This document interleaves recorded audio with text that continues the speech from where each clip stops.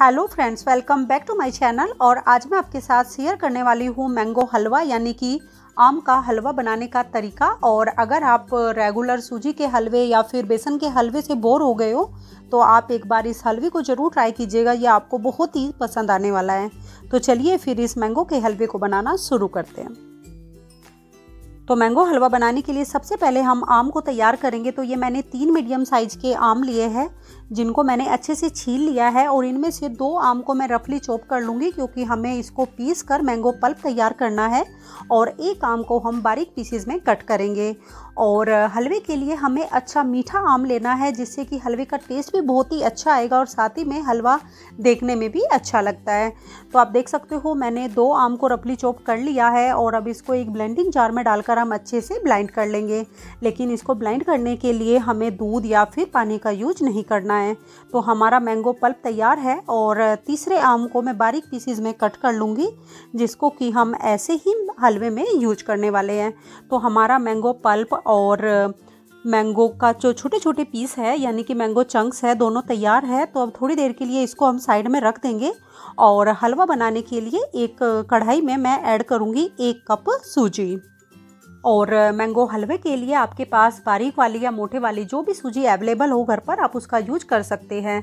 और अब इस सूजी को लगातार चलाते हुए मैं दो से तीन मिनट तक भून लूँगी और उसके बाद मैं इसमें ऐड करूँगी आधा कप देसी घी और एक चम्मच के आसपास मैं घी बाद में यूज़ करने के लिए बचा लूँगी।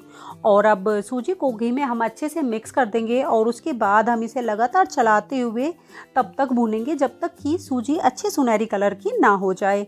लेकिन सूजी को भूनते हुए ध्यान रखना है कि गैस का फ्लेम लो टू मीडियम या फिर मीडियम रखना है।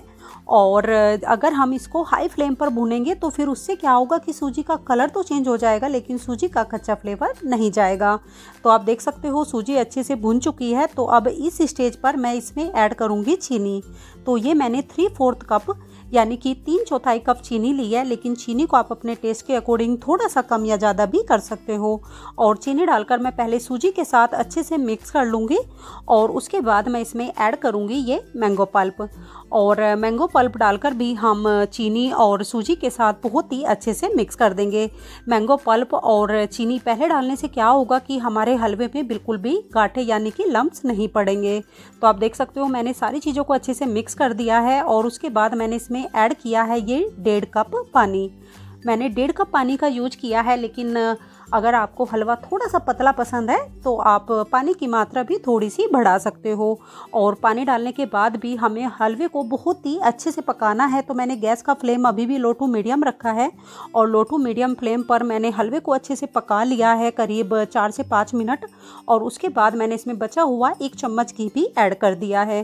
और घी डालकर हम अच्छे से मिक्स कर देंगे। तो आप देख सकते हो कि हलवे ने घी रिलीज़ करना शुरू कर दिया है। इसका मतलब हलवा बहुत ही अच्छे से पक चुका है। तो अब इस स्टेज पर हम इसमें ऐड करेंगे बारीक कटे हुए मैंगो यानी कि मैंगो चंक्स और साथ ही में मैं ऐड करूँगी थोड़े से ड्राई फ्रूट्स आपको जो भी ड्राई फ्रूट्स